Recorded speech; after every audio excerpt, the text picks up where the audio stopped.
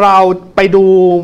ภาพรวมของตลาดหุ้นไทยเช้านี้ ในมุมมองของผู้เชี่ยวชาญรวมถึงนักวิเคราะห์เองเขาจะมองว่าควรจะวางกลยุทธ์อย่างไร เมื่อตลาดหุ้นเอเชียเช้าวันนี้พร้อมใจกันเขียวทุกกระดาน ครับอ่าวันนี้นะครับไปพูดคุยกับทางด้านคุณกันทรารัตดาวันนัทยานะครับกรรมการบริหารบริษัทหลักทรัพย์ฟินแลนเซียสหรัฐจำกัดมหาชนตอนนี้พร้อมแล้วนะครับ คุณกันทราสวัสดีครับ สวัสดีครับครับคุณจตุพรครับคุณบุรพาครับท่านผู้ชมท่านผู้ฟังครับสวัสดีครับ อะก็เข้าสู่ช่วงท้ายสัปดาห์เช่นเคยนะครับ ดูตลาดหุ้นรอบบ้านเราเช้านี้สดใส คุณกันทราดูปัจจัยภายในภายนอกเออมองแนวโน้มตลาดหุ้นไทย มันจะดีได้ต่อเนื่องไหมสัปดาห์หน้าโอ้โหแต่ดูมันมีเอ่อปัจจัยที่เข้ามาอืมสร้างความกังวลใจอยู่มากพอสมควร ครับในเรื่องของของตัวดัชนีเองก็มีความกังวลใจของเขาเองด้วยนะครับอืมคุณบุรพาคุณบุรพาคุณจตุพรครับขึ้นมาเยอะ ขึ้นมาติดติดๆกันอ่าครับ อ่าแปดสิบกว่าจุดนะครับ จริงจริงแล้ววันเนี้ยเอ่อเมื่อเมื่อก่อนที่ตลาดจะเปิดมาก่อนที่จะเก้าโมงครึ่งเนี่ยมีลูกค้าโทรเข้ามาถามว่าวันนี้ย่อไหมย่อไหมด้วยซ้ำอืมนะครับ มีความกังวลว่าจะย่อด้วย แต่พอดีต่างประเทศวันนี้ทุกประเทศนะครับ เพื่อนบ้านก็เขียวกันทั้งทั้งทั้งหมดนะครับก็พาทำให้เซนติเมนต์เนี่ยของเราดีไปด้วย ตอนนี้กระพริบเนี่ยบวกประมาณสักหนึ่งจุดกว่าๆนะครับสหรัฐอเมริกา บวก 243 ก็อย่างที่เรารู้กันว่า GDP เขาดีมาก ไม่ต้องกังวลเรื่อง hard landing นะครับอืมแล้วเฟดก็จะลดดอกเบี้ย ในสถานการณ์ที่ไม่ใช่ลดเพราะเศรษฐกิจไม่ดี ลดเพราะต้องการจะระงับเงินเฟ้อดังนั้นก็เป็นอะไรที่ควบคุมไปไปตามแผนการ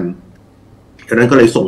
มาที่เราเราจนก็ทำนิวไฮไปเรียบร้อยนะครับ ส่วนของเราวันนี้เหตุการณ์สำคัญวันนี้ของเราครับคุณจุดพรคุณประภาครับ ก็คือเรื่อง SCI รีบาลาอ่านคงทราบๆกันอยู่นะครับ ที่เท่มากคือไม่มีหุ้นเข้าเลยอืมเท่มากนะฮะนี่เอออันนี้อันนี้อันนี้ต้องบอกว่า ถ้าถ้าผมจะใช้ใช้คำว่าเป็นกรรมเก่าอืมนะครับที่ที่ผมพยายามจะบอกกำกับเพราะอะไร เพราะตั้งแต่เลือกตั้งจัดเลือกตั้งรัฐบาลได้เนี่ยหุ้นเรา perform แล้วครับนะครับ ฉะนั้นคราวหน้ามันน่าจะไม่มีการลดน้ำหนักแบบนี้อีกแล้วอืมคือหมายถึงนะครับนี่น่าจะเป็นการลดครั้งสุดท้ายหุ้นใช่ หุ้นเราเนี่ยอืมที่ผ่านมา ขึ้นก็ไม่ขึ้น แต่ลงลง ครับ ตอนนี้เนี่ยเอ่อเกิดเกิดลักษณะที่ว่าตั้งแต่จัดตั้งรัฐบาลได้เนี่ยก็ขึ้นมาตลอด 80 กว่าจุดอย่างที่ผมเรียนไปตอนต้นนะครับ ฉะนั้นมุมมองต่าง ๆ ในเรื่องของ FSCI ในคราวหน้าน่าจะดูดีขึ้นอืมนะครับงั้นก็วันนี้อาจจะมีผันผวนหน่อยในช่วงปิดตลาด ครับอืมนะครับ แต่ก็เป็นหุ้นหุ้นส่วนใหญ่หุ้นที่หุ้นออกก็หุ้นใหญ่ก็ AWC EA GPST ไอ้ย GPSC IVL พวกนี้เราคงต้องทราบกันอยู่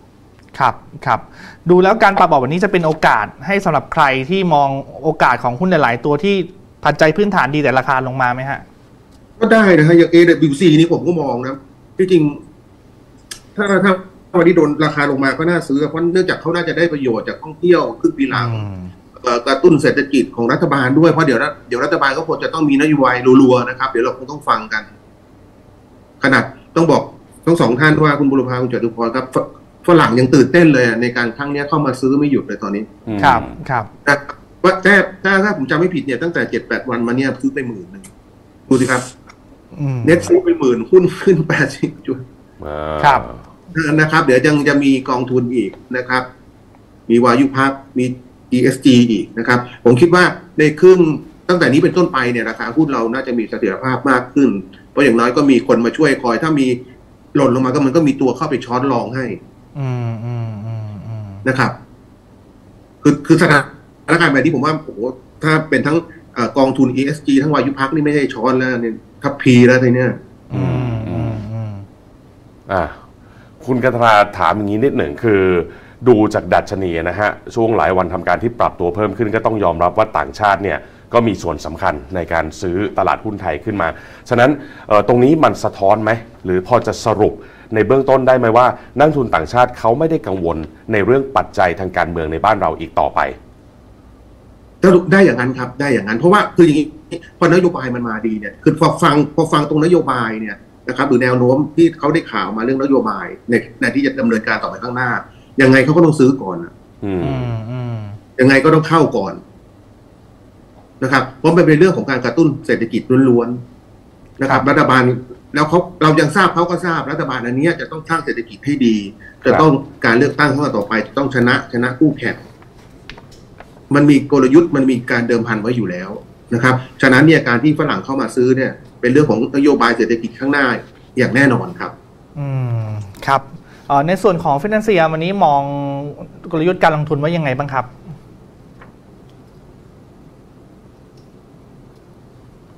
คุณกันทราครับครับได้ยินนะครับ เมื่อกี้เสียงหายไปครับครับเอ่อในมุมมองของคุณกัทลามองกลยุทธ์การลงทุนวันนี้ควรจะทยอยเก็บหรือยังไงดีครับเอ่อสำหรับ กลยุทธ์ตอนนี้นะครับ ผมคิดว่าถ้าขึ้นมาอาจจะมีการแรงขายมาบ้าง ต้องต้องอาจจะต้องทยอยทยอยออกไปบ้างนะครับอืมคือคือคืออย่างนี้ผมมองต้องมองก่อนภาพรวมหุ้นเนี่ยผมมองว่าพอจะมีเวลาสักนิดหนึ่งใช่ไหมเอ่อครับผมมองว่ามันจะมีการย่อครับ ย่อเพื่อไปต่อ เพราะว่าแรงต้านข้างบนนะครับคุณจะ